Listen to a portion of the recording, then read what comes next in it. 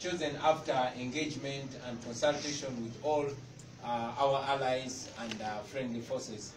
Um, a gentleman that has an impeccable character, a gentleman that has served uh, this country, um, comes from the line of the professionals.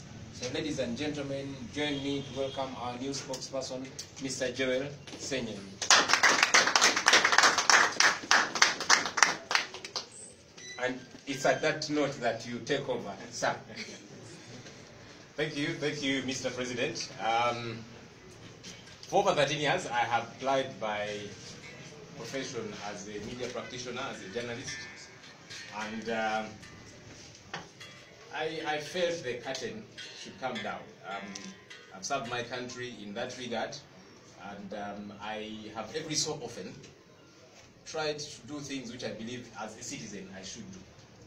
But uh, time has come when I felt the call to plunge in a lot more. And uh, so these good people have thrown me in the deep end. Uh, we'll keep seeing how things go. I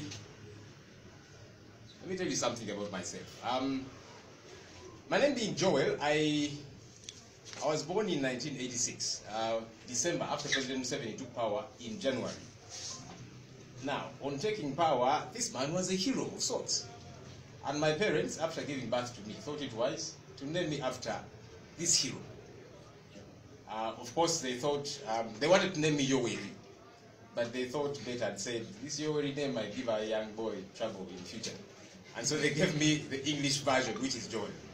But you see, over time, I realized that uh, the hero, who was named after, has become a shadow of his former past. And uh, so I have decided to plunge and be a part of the forces that are interested in a better country and actively work towards that. And so that's the struggle that um, I've decided to get involved in. It's not easy. I'm not naive to imagine it's going to be a rosy one.